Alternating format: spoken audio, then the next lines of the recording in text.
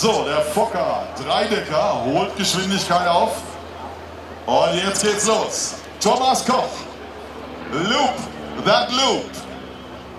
Fokker DR1.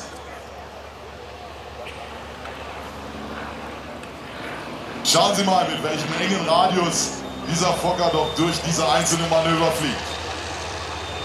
Der SA-14 zeigt, dass er arbeitet. Er raucht so ein bisschen hinten raus. Und Thomas steigt wieder auf Ausgangshöhe für das nächste Manöver. Ja, nicht ganz unkritisch zu fliegen, doch so ein bisschen kibbelig, vor allen Dingen am Boden durch den hohen Schwerpunkt. Und aufgrund der Tatsache, dass dieser Fokker DA1 Dreidecker so original wie möglich mit dem Kompromiss des Motors eben gebaut wurde und demzufolge keine Bremsen hat, eine Richtungsstabilität eines, einer Billardkugel hat, also doch leicht angeschoben, motiviert er sich gerne wieder aus der Richtung zu kommen. Und wieder hinein in den nächsten Looping. Thomas Koch vom Fliegenden Museum in Großenhain.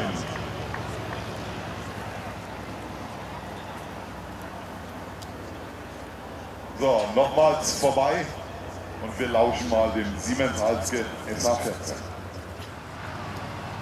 Und jetzt lauschen wir dem D3A mit Überkompression.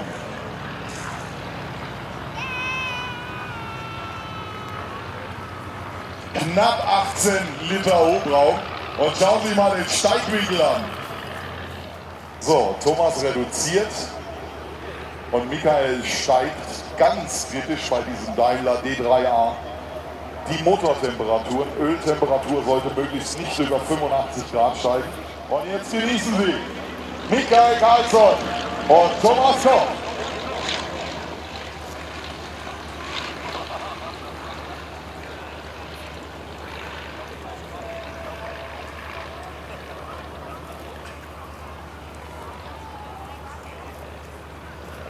So, Split off.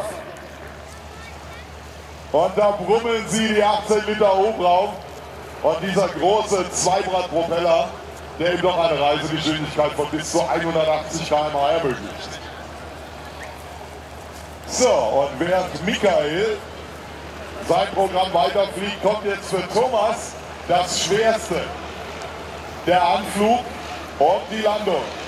Der Dreidecker neigt gerne dazu, ab und an mal links oder rechts auszubüchsen und entweder durch die Landebahnmarkierung durchzufliegen oder auch mal einen Holzzaun mitzunehmen. Und jetzt im Aufschweben inbegriffen, den Aufsetzpunkt so weit wie möglich nach hinten verlegen. Thomas, das sieht gut aus.